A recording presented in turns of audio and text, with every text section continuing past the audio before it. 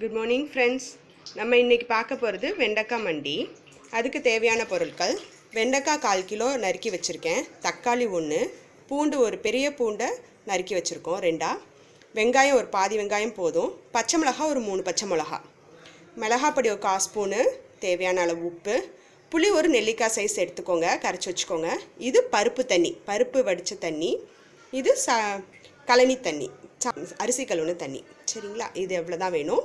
இப்போ சட்டியில் வந்து கடலெண்ணெய் ரெண்டு ஸ்பூன் ஊற்றிருக்கேன் கடுகு உளுந்து போட்டு தாளிச்சிடலாம்.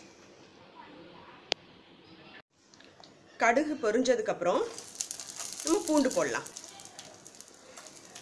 பூண்டு ஒரு ரெண்டு நிமிஷம் வதங்கட்டும். பூண்டு ரெண்டு நிமிஷம் வதங்கினதுக்கப்புறம் நம்ம வெண்டைக்காயை போட்டு கொஞ்சம் நேரம் வதக்கலாம்.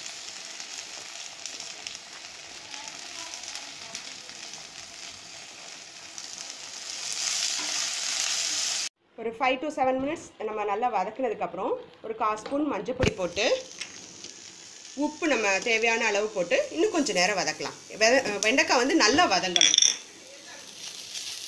ஒரு பேனில் நம்ம கொஞ்சம் எண்ணெய் ஊற்றி வெங்காயம் பச்சை மிளகா வத இப்போ நம்ம தக்காளியும் போட்டு வதக்கிடலாம்.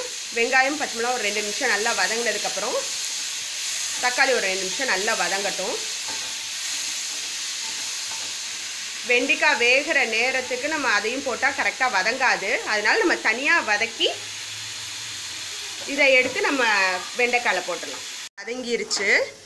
இப்போ இதை எடுத்து நம்ம வெண்டிக்காயோடு சேர்த்துடலாம் வெண்டிக்காயும் நல்லா வதங்கிருச்சு. இப்போ நம்ம புளி தண்ணி இதோட சேர்த்துக்கலாம். இதுக்கு காரம் பச்சை மிளகா காரம் தான். நம்ம கொஞ்சோடு தான் மிளகா பொடி போட போகிறோம் ஊற்றுனதுக்கப்புறம் கழனி தண்ணியும் நம்ம இதில் ஊற்றிடலாம் நம்ம தண்ணி அந்த மாதிரி எதுவும் ஊற்ற மாட்டோம். கழனி தண்ணி பருப்பு தண்ணி இதில் தான் நம்ம வேக வைக்க போகிறோம் அப்போ தான் மண்டி நல்லா டேஸ்ட்டாக இருக்கும். நம்ம கழனி தண்ணி ஊற்றி நல்லா கொதிக்குது. நல்லா கொதிக்கணும் வத்தணும். இப்போ நம்ம வந்து பருப்பு தண்ணி எடுத்து வச்சுருந்தோம் இல்லையா? அந்த பருப்பு தண்ணியை இதோட சேர்த்து நம்ம போட்டுடலாம் பருப்பு தண்ணி ஆட் பண்ணியாச்சு. நல்லா கொதித்து சுண்டி வத்தி வரணும். நான் வத்தி வரும்போது காமிக்கிறேன்.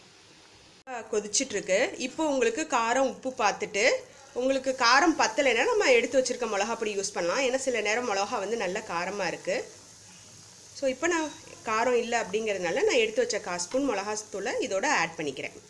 நல்லா வத்தினதுக்கப்புறம் நம்ம இறக்கிடலாம்.